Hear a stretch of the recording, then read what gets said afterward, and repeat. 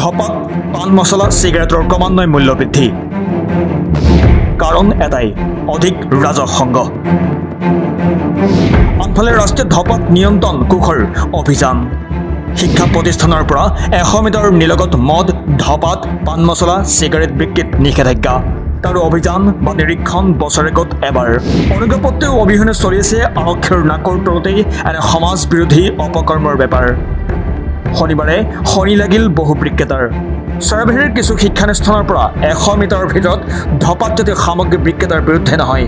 বিক্ৰেতাই বেচিবলৈ আনি থোৱা গুটখা বিড়ি চিগাৰেট জ্বলাই দিলে উপস্থিত ৰাইজৰ সন্মুখতেই।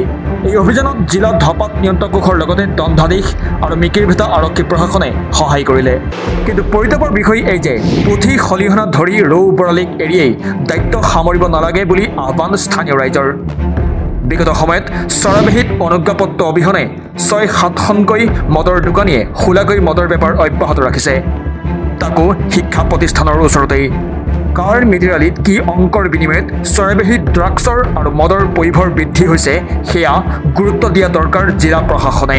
এশ মিটাৰৰ ভিতৰত কোনো ধৰণৰ ধপাতযুক্ত বস্তু বিক্ৰী কৰিব নোৱাৰে। যিসকলে কৰিছে তেওঁলোকক আজি দহ মাহে আমি অনুৰোধৰ আকাৰে তেওঁলোকক ফাইনৰ আকাৰে আমি বহুত তেওঁলোকক আমি তেওঁলোকৰ ওচৰ চাপিবলৈ চেষ্টা কৰিছোঁ। কিন্তু তেওঁলোকে কোনোপধ্যেই কথা নুশুনে।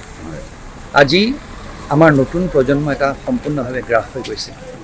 আৰু আপুনি জানে আমাৰ জিলাখন ড্ৰাগছৰ বাবে কুখ্যাত ড্ৰাগছ ব্যৱহাৰৰ বাবে কুখ্যাত। আৰু এই ড্ৰাগছৰ ব্যৱহাৰ সদায় ড্ৰাগছেদি আৰম্ভ নহয় এই এনেকুৱা ধৰণৰ ধপাতযুক্ত বস্তু তাৰপিছত চিগাৰেট তাৰপিছত মদ ভাং ইত্যাদি তাৰপিছত ড্ৰাগছলৈ যায়গৈ।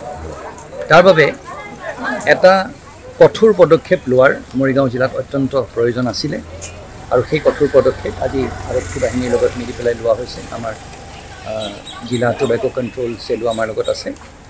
আৰু আমাৰ দৃঢ় বিশ্বাস যে ইয়াৰ মাজতো বহুতো ধূৰ্ত মানুহে আমাৰ চকুত ধূলি মাৰি শিক্ষা অনুষ্ঠানৰ ওচৰত তেওঁলোকে ধপাত বিক্ৰী কৰিবলৈ চেষ্টা কৰিব। কিন্তু তাৰ পৰিণাম তেওঁলোকে কি হ'ব সেই তেওঁলোকে নিজেই দেখিব অতি সোনকালে। আজি আমি এইখিনি জ্বলাই দিছোঁ। কাইলৈ যদি প্ৰয়োজন হয় আমি তেওঁলোকৰ বিৰুদ্ধে উচিত ব্যৱস্থা লৈ আমি তেওঁলোকক গ্ৰেপ্তাৰ কৰিম। এটা স্পেচিয়েল এনফৰ্চমেণ্ট ড্ৰাইভৰ কাৰণে আহিছোঁ। আমাৰ আৰু এই অভিযানটো কৰাৰ আমি মূল উদ্দেশ্য হৈছে যে আমাৰ মৰিগাঁও জিলাৰ স্কুলবিলাকৰ প্ৰায়ে দেখা যায় যে এশ গজৰ ভিতৰত বহুতো স্কুল আছে। যিবিলাক স্কুলত ধপাতজাতীয় সামগ্ৰী বেচে।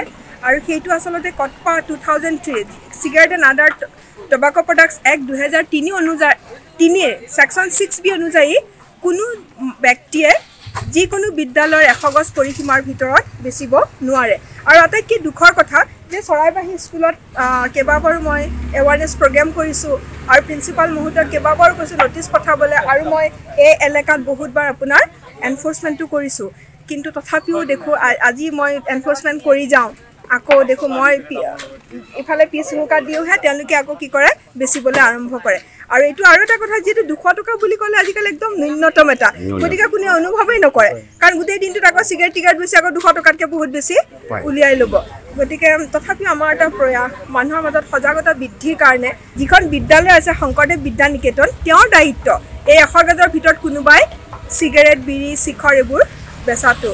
এতিয়া তেওঁলোকে যেতিয়ালৈকে নিজৰ হাতত এইটো বস্তু নলয় তেতিয়ালৈকে আমি ইয়াত কেতিয়াও সফল নহওঁ। আৰু ইয়াৰ মূল উদ্দেশ্য হৈছে যে আমাৰ কণ কণ উঠি অহা যুৱ প্ৰজন্মক ধপাতৰ পৰা যাতে আমি বচাব পাৰোঁ। News times Guwahati